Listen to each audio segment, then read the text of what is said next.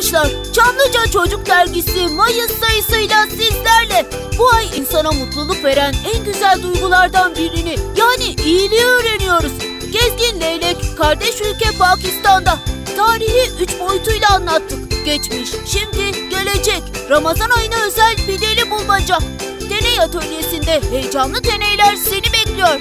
Minik okurlarımız için Rüzgar Gülü Eki her ay derginizle birlikte hediye.